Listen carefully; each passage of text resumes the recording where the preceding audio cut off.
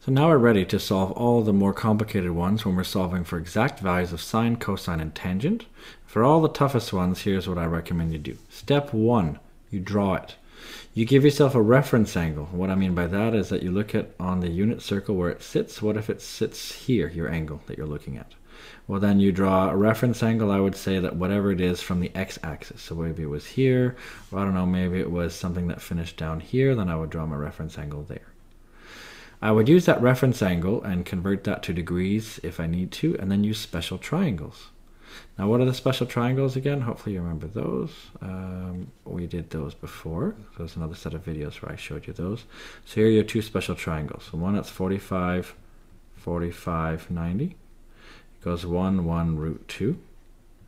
And the other one is a 30, 60, 90 triangle. So that one, I didn't draw it. It doesn't look like the same uh, angle here, but it's supposed to be 60. This is supposed to be 30. This goes 1, 2, root 3. Those are the ones you need to know. Because this will help you to know what to do. This will be like either the answer is like 1 over root 2, or I don't know, 2 over root 3, or root 3 over 2, or whatever. Um, well, actually, 2 over root 3 isn't possible, but you just use sine, cosine, or tangent. Use your SOHCAHTOA tricks or whatever you use in order to know what to do here. And then I check for quadrants. And what I mean by that is that I check what quadrant is it in. Is it in this or this or this or this? Remember, if it if it's in this quadrant, sine, cosine, and tangent are positive. If it's over here, only sine is positive. The other ones are negative. If it's here, only tangent is positive. If it's over here, only cosine is positive. I use those to put it together, and away I go. So let's try to put it all in context now. Let's put it all together. So first draw it, then do special triangles, then look at quadrants. So let's calculate the exact value of cos of minus pi over 2. I'm going to start off just nice and easy just to sort of show, okay, let's, let's see just how to do this. Step one, we go back here, we want to draw it. All right, let's draw an angle of minus pi over 2 first. Let's just draw this. So if we draw, this is, remember this is 0, this is 2 pi, and this right here is pi. If you know your radians, that's how this goes. Well, if I want minus pi over 2, minus means going downwards instead of upwards. And pi over 2 is halfway between here and here, so it must be here. So here's where my angle finishes. My angle is actually here. Well, this is almost too easy because this is one of these really easy ones here. So this is super easy because it's a multiple of pi over 2. Those are the easy ones.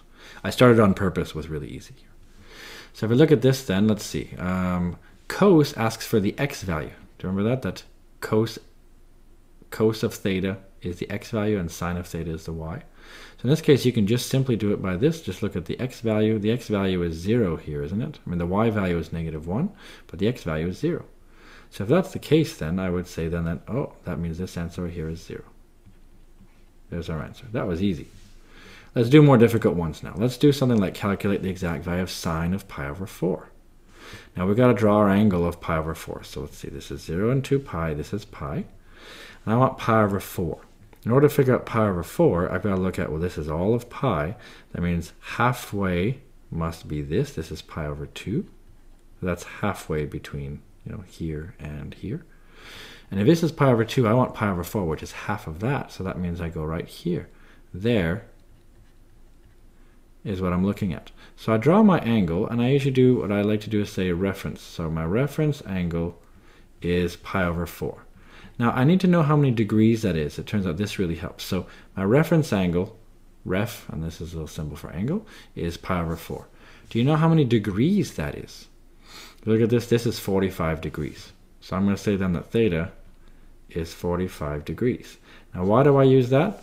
Let's go back to our steps here, because step one was to draw it, and step two was to use special triangles.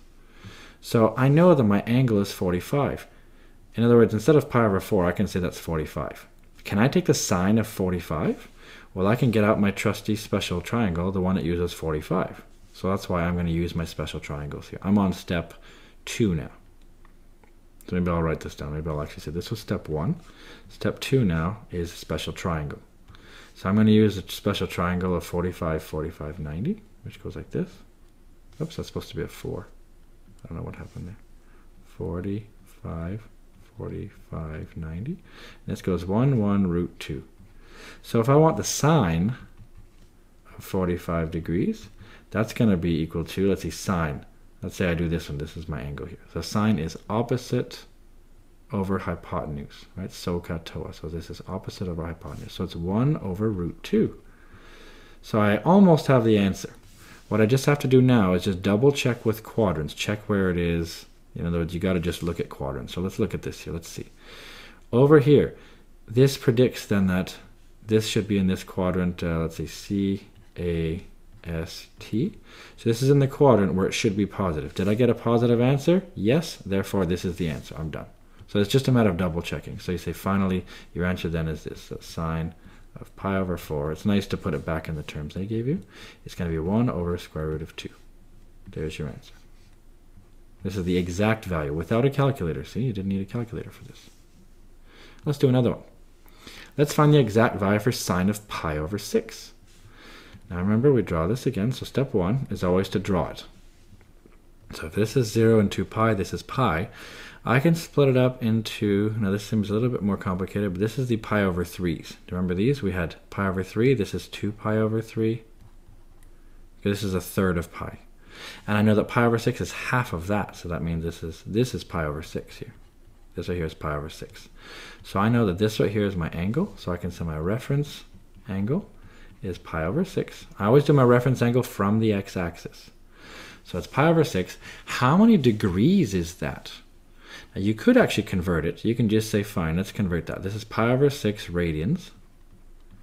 I want to convert that. And to convert it, I got to know how many radians are in a certain amount of degrees. And I want to put radians on the bottom. So I'm going to say pi radians over 180 degrees. That's the conversion factor, that there's pi radians in 180 degrees. You know that from here. If I go all the way around, or halfway around, then that is pi radians, and that's 180 degrees. So I do this, my rads cancel out, my pi's cancel out, and I have 180 over 6. And 180 divided by 6 is 30 degrees. So that actually works nicely. So I have now my reference angle is actually 30 degrees. You can also see it as this. Take your whole pi right here and divide it. That's 180 degrees. Divide it by 3. That gives you 60. And then take half of that is 30. That's another way to do it. Either way, we have a reference angle of 30 degrees. Why do we use that? Because now we use special triangles. Do we have a special triangle that has 30 degrees in it? We sure do. We have our 30, 60, 90 one.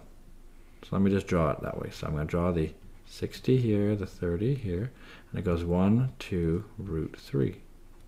This is 90. So if that's the case, then I want I want sine of 30 degrees. That's what I want here. I want to take the sine of 30 degrees. So sine of 30, so SOHCAHTOA, sine is opposite over hypotenuse. So that's just going to be 1 over 2. Now I may have the answer. We just got to check quadrants and make sure that we're in the right place. This is always a good idea. And it seems silly right now to check for quadrants, but later on it's going to become really important because you're to have really sneaky answers because of the quadrants. So if we look at this, let's go back to the quadrants here. Where are we sitting? We're sitting in, let's see, this is A, S, T, C. So our, our angle is right here. This is where we're sitting. This is in this quadrant which has an A, which means all of them are positive. Is my answer positive? Yes. Therefore, I have my answer. My answer is that the sine of pi over 6 equals 1 over 2. It's always nice to convert it back, instead of saying 30 degrees, convert it back to what they originally gave you. Then it looks a lot nicer. See how I did that? Now let's do another one. Calculate the exact value of sine of 5 pi over 3 this time. So again, step 1, draw it. So I'm going to draw this. So this here is 0 and 2 pi. This is pi. I want to count in pi over 3. So remember to do those. I go here and I go here. This is 1 pi over 3. This is 2 pi over 3. This is 3 pi over 3. This down here is 4. And this is 5 pi over 3. Over here is 4 pi over 3. And this is 6 pi over 3. Now it's not halfway. I'm trying not to draw it looking like 45. It shouldn't be 45.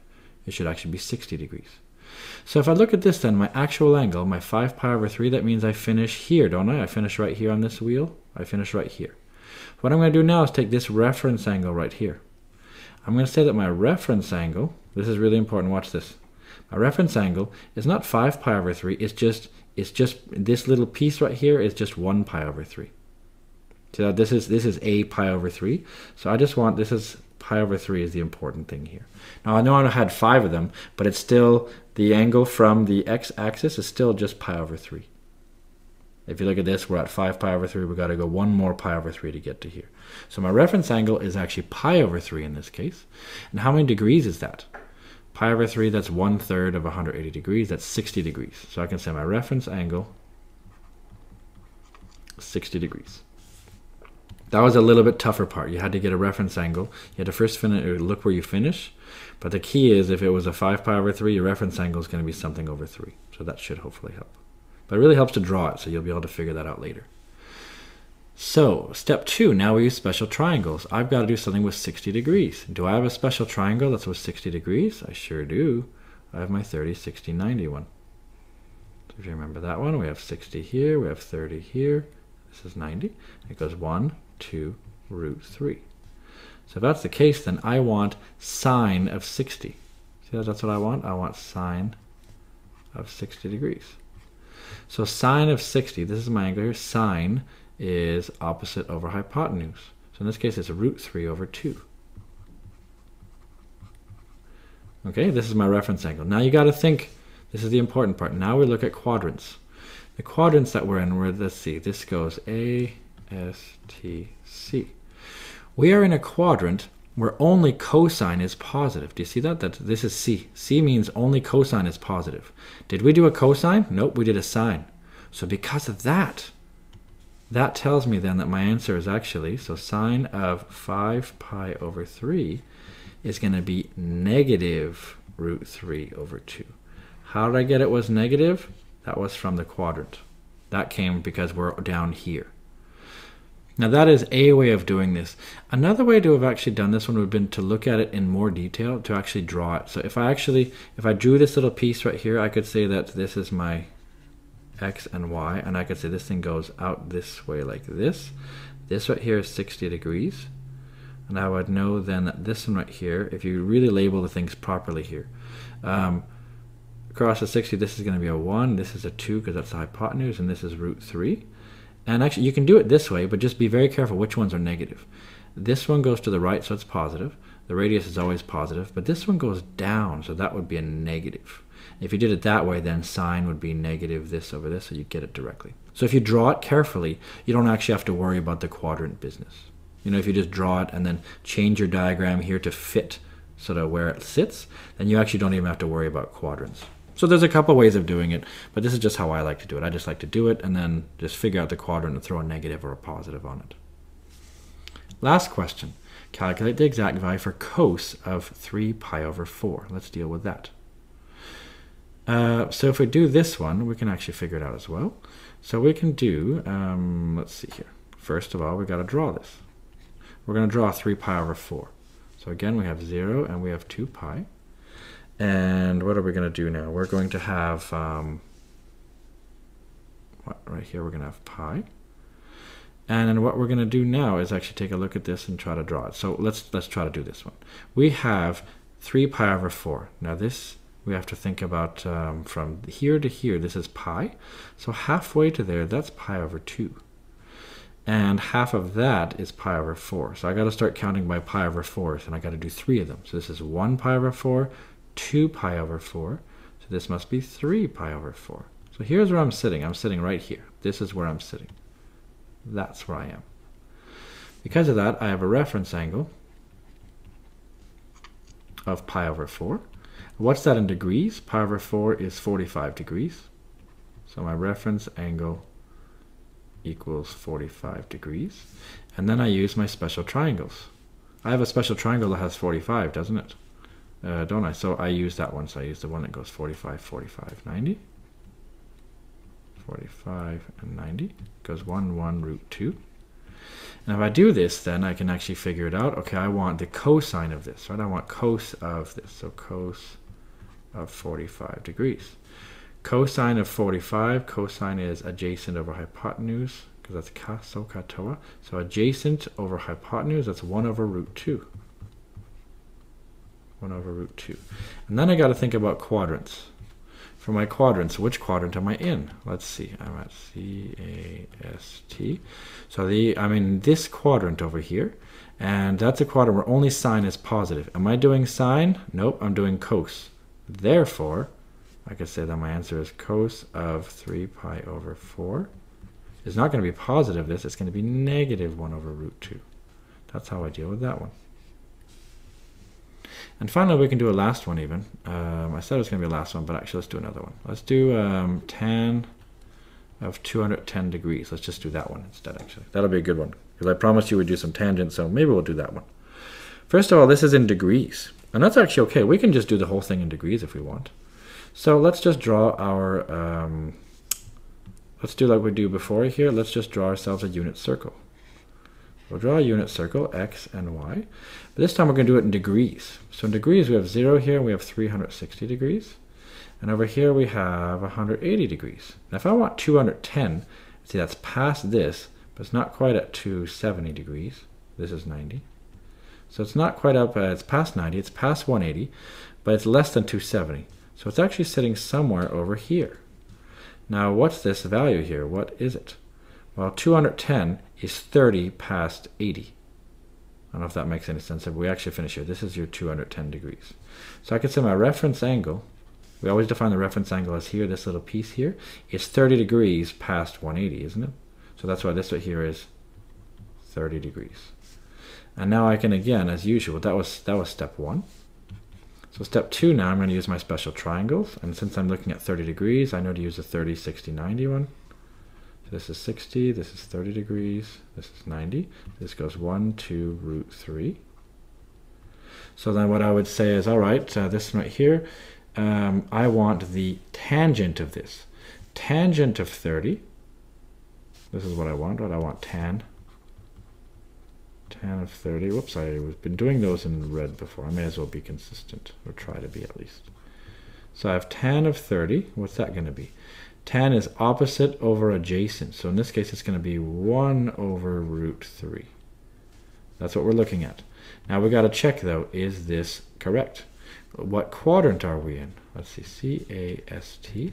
I'm in a quadrant where there's a t here. t means only tangent is positive. Was I doing a tangent? Yes, I was. Therefore, I could say my total answer then is tangent of 210. It's always nice to wrap it all up.